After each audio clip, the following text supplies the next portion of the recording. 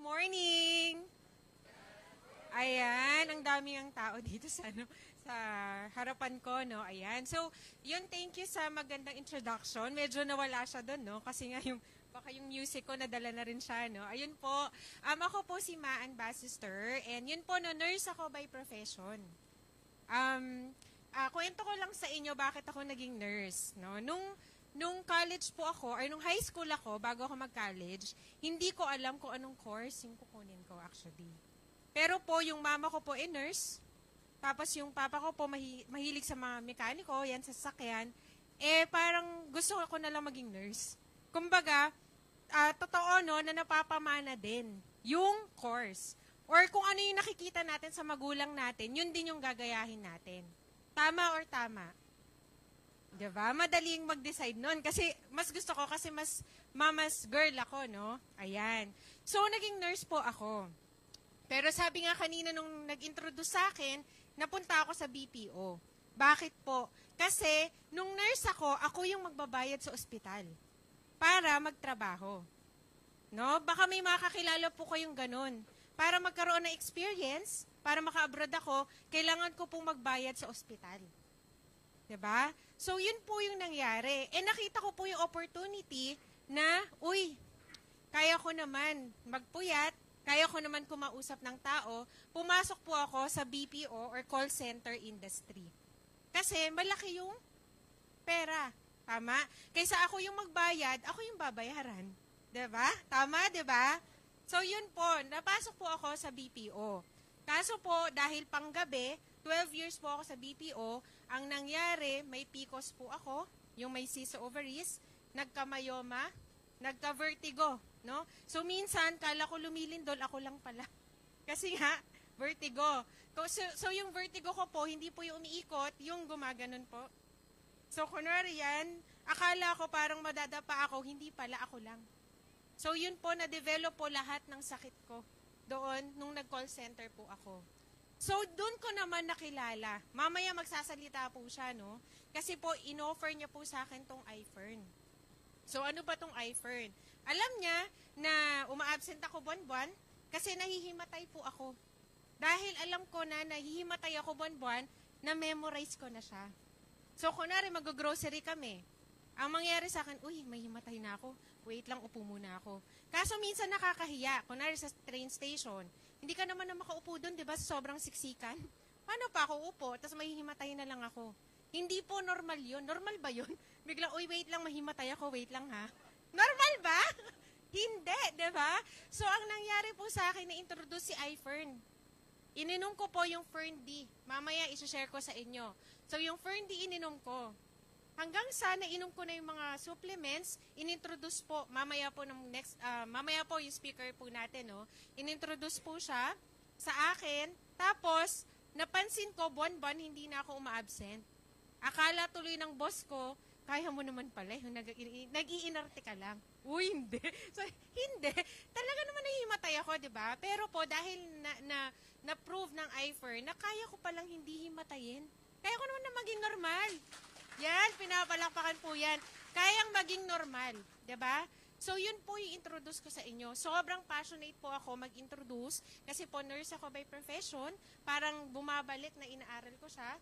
Na-apply ko po dahil tumutulong lang din po ako, no? Hindi lang sa kababaihan, dahil po gusto kong tumulong because of the products.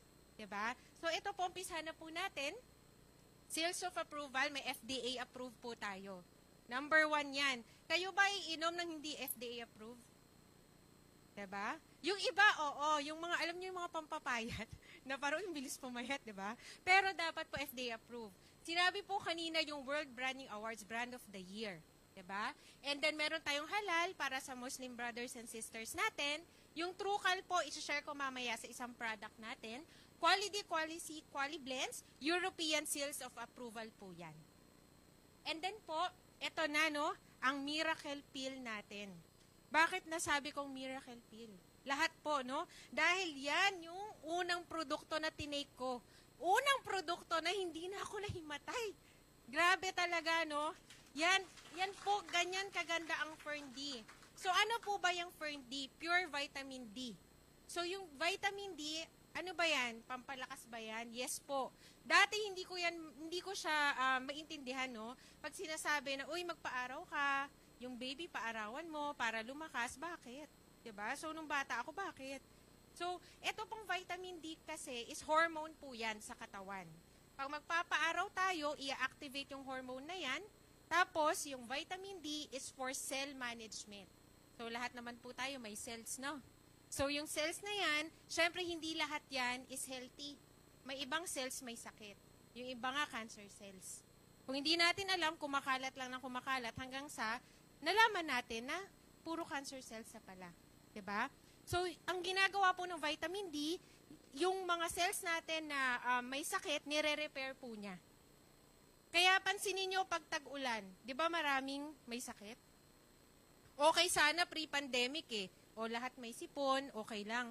Pero nung nagka-pandemic, imagine nyo no, nung, nung pandemic talaga, pag may sipon kayo, kahit nakamas kayo, kahit nandun na yung sipon, no? Sa may mask nyo, hindi kayo maka-atching eh. Pa, tama, di ba? Naranasan, totoo yan. Di ba? Kahit gaano kaganda, kagwapo, basta wag kang umatching, please. Tama, di ba? Kasi pag umatching ka, pandidirian po tayo. Tama o tamang-tama? Naranasan ko yan. Wag kayo, ha? Ayan. So, eh, so ito pong vitamin D, yan, no, itong vitamin D is kailangan po essential sa katawan. ba? So, ito pong ating Fern D, four years in a row na brand of the year. Bakit? Sobrang ganda po niya. Yan, pinapalakpakan yan. Bakit? Kasi po, sobrang ganda niyan, miracle pill yan. Ang dami na niyang nagamot na sakit-sakit. Pwede po yan sa bata, no? Good for all ages. Tapos, kung may mga kakilala po kayo, no? Na may mga sakit-sakit. Ito po, may doktor po, si Dr. Michael Holick. Hindi po siya sa iFern, no? Pero, meron siyang libro, The Vitamin D Solution. Ito yung mga sakit na pine-prevent and tinitreat. Tingnan nyo, may diabetes, heart disease, cancer, depression, psoriasis. Pusta ko po, no? Lahat po na nandito may kakilala na may diabetes, may cancer. Tama po ba? 'Di ba? So kung ito, proven na nagpapagaling at nape-prevent, bakit pa natin kailangan hintayin na may magkasakit sa pamilya natin? Pwede naman natin i-prevent, tama? Eh, sobrang affordable ng Ferndi natin. 680 pesos, 'di ba? Kaysa naman kapag ka na ospital, knock on wood, sobrang laki. 'Di ba? Ayan. So ito naman po may Fern Active. Ito naman multivitamins to. So kung hinahanap nyo po yung Fern C, yung vitamin C nandyan na, pero ang maganda dito, may 8 vitamins and minerals, may B-complex, at saka meron pong zinc. Ito pa yung maganda, yung ginawa po itong Fern Active, ah, ang nangyari po, no, ano ba yung vitamins na kulang sa Filipino diet? So tayo po, 'di ba, kanin. Syempre pag may kanin, may ulam. Pag may ulam, may dessert. After ng dessert, gusto naman maalat, tama? Balik-balik lang, no? So, ako po kasi yon pero maraming ganon. So, kumbaga, design po, no, anong vitamins ang kulang sa Filipino diet. Yan po yung Fern Active. Kaya nakaka-increase ng energy levels, yung mental alertness natin, 'di ba? Sa lalaki naman po may Viagra effecto. Yes, ang lakas ah. Wow, okay. Wow. So, yes, wow po talaga, no? kasi nga, kumbaga may B-complex, kasi yung Viagra effect mo, natural Viagra effect naman po siya. Ayan. Napaw, napawaw din ako doon. Yan. So, ito naman yung Milka. So, Milka naman is calcium from real milk. Yung Trucal, ibig sabihin po niyan is from real milk. So, ang ang maganda po niyan is galing sa gatas ng cow. Dalawa daw yung gatas na healthy eh. Yung isa galing sa gatas ng cow. Ano yung isa? Oh, malakas. Yes, breast milk, gatas ng ina, yon tama po.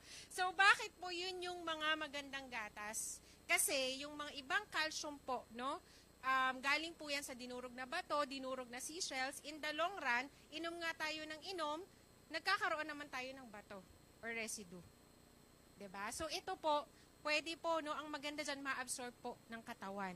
Plus pwede po 'yan sa may lactose intolerance. So yun po yung ating power trio. Bakit Power Trio? Kasi po, marami na po talaga tayong testimonies na napagaling ng Power Trio. Yan. Fern Coffee, sinong mahilig sa kape dito? Yan, yung natikman nyo po kanina, may vitamins na kape yan. Kung acidic po kayo, maganda po yan, no? Kasi hindi siya masakit sa sikmura. Ito naman po yung Fern Flex, meron pa dito, or wag na lang, baka, may, baka mahiyang tumaas ang kamay, no? Meron ba ditong kakilala na may mga sakit-sakit na sa tuhod? Kakilala na lang, hindi po kayo, pwede, nyo, pwede kayong tumaas ang kamay. Kasi baka hindi... Ayan. Sige, ayan. So, kumbaga, ito naman ating Fern Flex, may undenatured collagen. Target po yan sa tuhod para maging healthy ulit yung joints natin sa tuhod. Yan. And then, ito po yung ating Silver Fresh. Ito naman po is medicinal toothpaste. Isa po to sa favorite ko. Bakit? Ang dami niyang use, 'di ba? Kung nakikita niyo po may bakal-bakal ako dito sa ngipin ko, may braces ako. So may mga times na nagdudugo siya, 'di ba? Minsan may singaw. Ito po anti-infection, antibacterial. Wala po yung fluoride, walang paraben, walang triclosan. Kasi according sa research studies, yung mga ingredients na yan, nakakakos ng brain damage in the future, and isa po is Alzheimer's. 'Di ba?